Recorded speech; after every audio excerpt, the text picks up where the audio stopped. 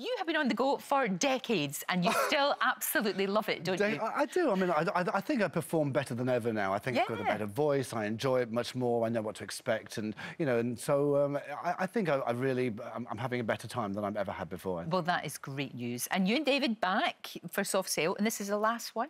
It's the last one. It's the, it's the O2. It's, it's on Sunday. It's a big celebration because this year is our 40 years since Dave Ball and I sat down and we decided wow. to form an electronic duo.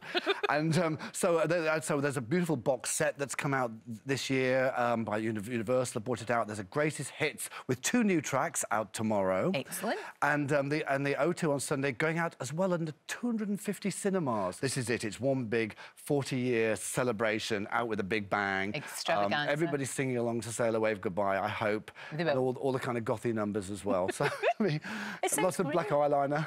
I know. I just love the fact that you're still so passionate about what you do. I can't ever imagine you not doing it. No, I can't. I mean, I, th I, think I think you've just got to keep going, and you've got to. I think when you get older, you just you just have to.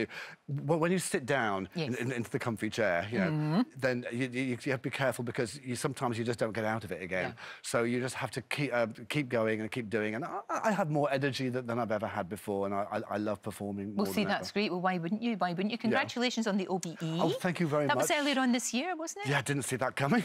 that was like that was fantastic. There's, there's Prince William.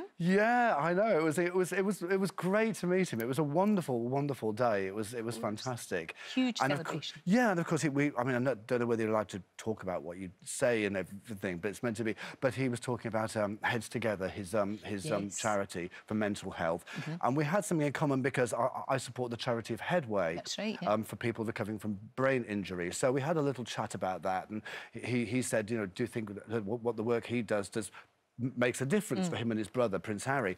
I said, yeah, it makes a massive, massive difference bringing attention to that um, charity.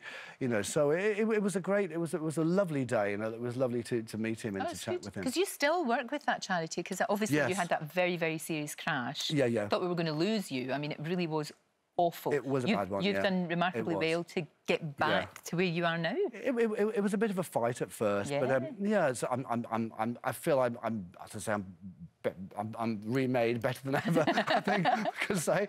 But uh, yeah, I think um, Headway is a, a, fantastic charity, and it's for people to support who. I mean, I'm lucky because because I recovered, yeah. but a lot of people have to have to go through this terrible time when they're recovering from head trauma and head injury. And there's, people have a lot of things in common when they go through th through these things. Mm. So I think for me, being speaking out about it, people like Prince William and, and Prince Harry talking about them heads together, I think really brings the attention to those some of sometimes taboo things. People don't like to talk about mental health or they yeah. like to talk about he head injuries or things like that. And it's a mm. taboo thing for people. It's true. We're getting better. They feel awkward talking know, about it, but I, I, think that brings attention to it. Definitely with what they do. It's absolutely yeah. fantastic. You now as a veteran.